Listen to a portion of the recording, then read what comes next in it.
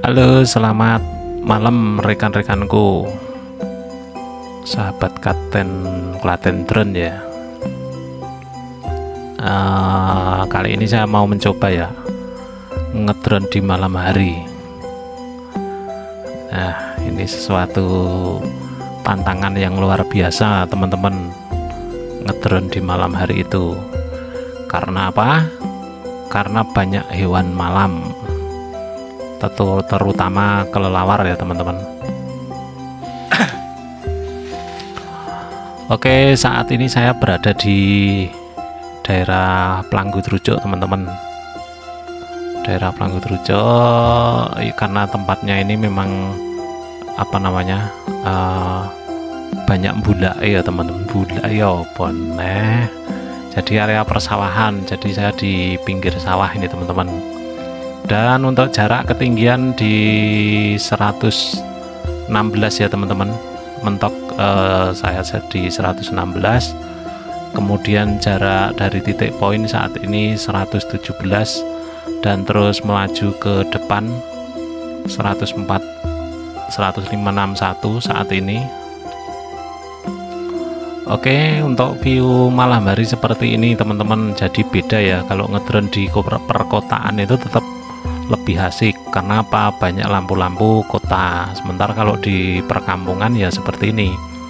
Karena untuk lampu-lampu uh, rumahnya kan kecil-kecil beda ya dengan yang di kota. Banyak lampu-lampu yang besar jadi kelihatan lebih asik.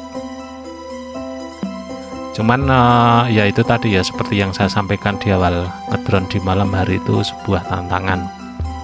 Itu wakeh manuk manuk ceguk manuk ceguk tahu teman-teman eh, burung hantu ya. Karena di daerah sini banyak burung hantu. Atau manuk manuk itu pemangsa tikus.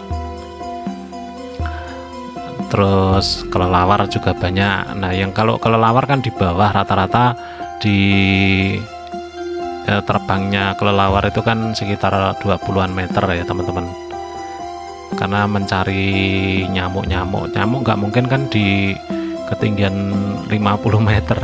Kemungkinan ya karena kita nggak tahu. Tapi kemungkinan nyamuk itu di bawah. Jadi untuk kelelawar terbangnya juga di bawah. Oke kita lanjut terus. Ada suara tokek juga di sini. Nah itu terdengar tokeknya. Kita saat ini di jarak 992 meter. Dengan ketinggian tetap 116 ya untuk sinyalnya masih bagus teman-teman. Untuk GPS dapat 18 oke. Untuk viewnya seperti ini. Di depan itu merupakan jalanan. Itu. Kita lanjut terus. Coba kita putar-putar. Nah. Kita sampai di mana nih ya? Aku ya bingung nih itu. Kita lanjut terus lah karena untuk jaraknya sudah maksimal ya. Kita kembalikan dulu atau pulang ke titik poin.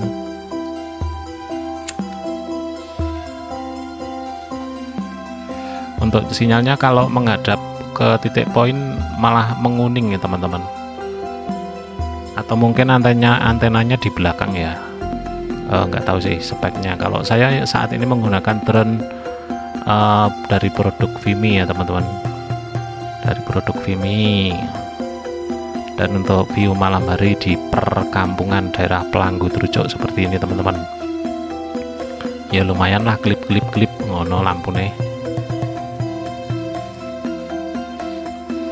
Oke untuk jarak masih di 570 di arah nanti ki. Kudunya aku nonton anu ya tadi mapnya itu loh Google mapnya itu. Cuman kok aku ya lali ya. Ora tak tonton sampai di mana. Tapi ini meluncur ke selatan ya teman-teman. Meluncur ke selatan dan 712 720 kalau untuk ketinggian tetap sama ya teman-teman di 116 ya. Kita lanjut terus wes. Pokoknya gaspol ono ae. Karo nyoba berarti kalau malam hari malah low interference ya teman-teman. Jadi untuk sinyal itu masih ya meskipun kuning cuman masih jalan. Biasanya kalau sudah anu sudah banyak interferen itu langsung terputus. Kemudian untuk drone-nya kembali sendiri teman-teman. Return to home ya. Untuk GPS-nya bagus 17 dan 16 itu goyang ke 16 17 Oke jarak masih di 80 830-an ya 40-an sekarang meter. Memang kalau untuk drone saya ini untuk jalan saya set di kecepatan rendah teman-teman. Maksudnya tidak ngebut. Kalau dulu kan sekali pencet jedet itu bisa ngebut. Cuman uh, nanti saya kalau ngambil di tempat-tempat yang apa seperti wisata gitu malah kerepotan kalau ngebut. Makanya ini langsung saya set di uh, kecepatan rendah. Di depan itu merupakan kampung Tegalan teman-teman. Jadi selatan uh, di sebelahnya seberangnya itu merupakan kali Nengkeng ya. Dulu kita udah pernah ke sini ngedron saat uji coba Wimi. Karena di daerah ini ada lapangannya teman-teman jadi saya lebih asik ngedron di sini juga rendah interferen untuk jarak sudah hampir satu kilo ya teman-teman. Itu terbaca 995 untuk jaraknya. Dan kita ini sebetulnya jalan cuman kayak berhenti ya drone ya. Wis pokoknya melaku aja dipentok sisan ini kalau melaju terus ke arah Talang ya teman-teman. Nah itu kan udah return to home ya. Kembali ke titik poin.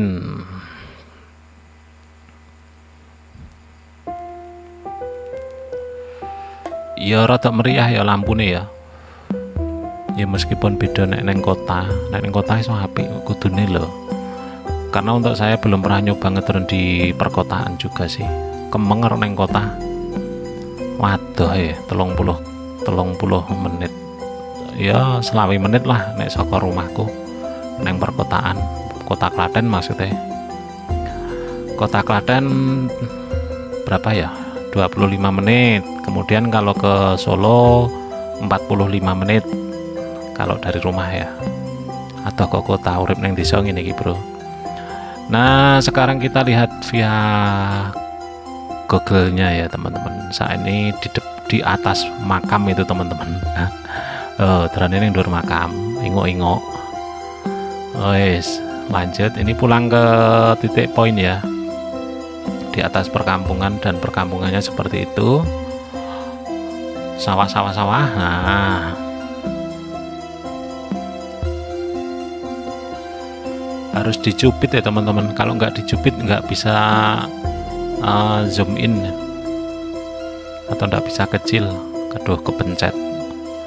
Oke lanjut terus. Itu titik merah tadi merupakan titik poin saya.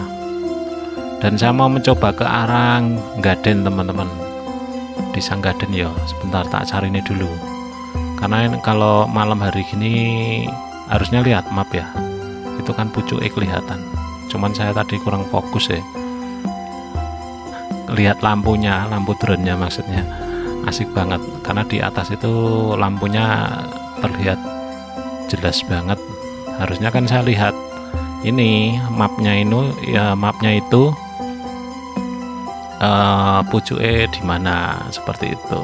Jadi arahnya pas nanti. Cuman ini kita melaju ke arah desa Gaden ya sekarang teman-teman. Nanti kita lihat jaraknya dari tempat saya berdiri ke Gaden itu harusnya sekitar uh, eh, 1 km coba kita lihat map ya betul kan? Kita menuju ke arah desa Gaden oke kita jalan terus. Saat ini di atas sungai kecil. Oh di depan deng. Di depan itu sungai kecil teman-teman.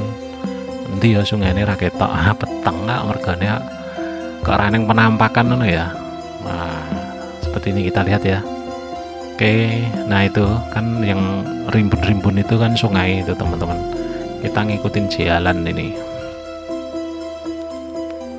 Dan yang gambar rumah itu merupakan saya tempat saya berdiri ya teman-teman. Di pinggir desa di pinggir desa. Wah, untuk viewnya seperti ini ya. Keren Oke kita lanjut terus dan ini di angka 820 untuk jaraknya. Ketinggian tidak berubah di 116 kita lanjut terus sementara untuk GPS nya di 18 dan untuk sinyal wifi masih aman meskipun sempat menguning. Untuk baterai di 41 oke kita lanjut terus.